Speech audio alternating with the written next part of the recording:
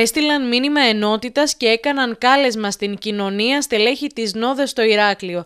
Ο Κυριάκος Μητσοτάκης είναι ο άνθρωπος που φέρνει μια εναλλακτική πρόταση στον ελληνικό λαό, είπαν τα γαλάζια στελέχη που παραχώρησαν συνέντευξη τύπου για τη συμπλήρωση του ενός χρόνου του Κυριάκου Μητσοτάκη στο τιμόνι της Νέας Δημοκρατίας. Διασφαλίστηκε η ενότητα της παράταξης και προωθήθηκε η ανανέωση και η αξιολόγηση. Η κυβέρνηση του Κυριάκου Μητσοτάκη, ως μια αξιόπιστη μεταρρυθμιστική δύναμη, θα έχει τη δυνατότητα να συζητήσει με τους εταίρους με πολύ πιο σοβαρό και αξιόπιστο τρόπο. Στο χρόνο αυτό η Νέα Δημοκρατία άλλαξε. Έγινε ένα σύγχρονο ευρωπαϊκό κόμμα.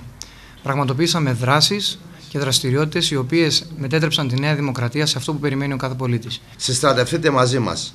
Όλοι μαζί θα βγάλουμε τη χώρα από το αδιέξοδο. Μέσα σε αυτό το χρόνο αναπτύχθηκαν πολλές δράσεις, όπως είναι η Πολιτική Ακαδημία Στελεχών, το συμμετέχω στη Νέα Δημοκρατία, το κανένα στο περιθώριο, όπως τόνισαν τα γαλάζια στελέχη. Αυτή τη στιγμή, με τη δράση μας, ε, υγεία προνοιακές παρεμβάσεις, συλλέγουμε φάρμακα για τις ευπαθείς ομάδες. Για τους πολίτες οι οποίοι θέλουν να συμμετέχουν ενεργά στη Νέα Δημοκρατία, μπορούν να κάνουν αίτηση στην ηλεκτρονική πλατφόρμα του κόμματός μας www.my.com nudu.gr. Η προσπάθεια για πολιτική αλλαγή στη χώρα με τη διαδικασία ανανέωσης της Νέας Δημοκρατίας συνδέεται άρρηκτα με την επανίδρυση της οργάνωσης νέων της Νέας Δημοκρατίας. Την ίδια ώρα ο κοινοβουλευτικός εκπρόσωπος της Νέας Δημοκρατίας Βασίλης Κικίλιας θα παραβρεθεί στο Ηράκλειο στις 27 Ιανουαρίου με αφορμή την κοπή της πρωτοχρονιάτικης πίτας. Θα χαρούμε πάρα πολύ να δούμε αρκετό κόσμο να έρθει το βράδυ εκείνο εκεί για να συζητήσουμε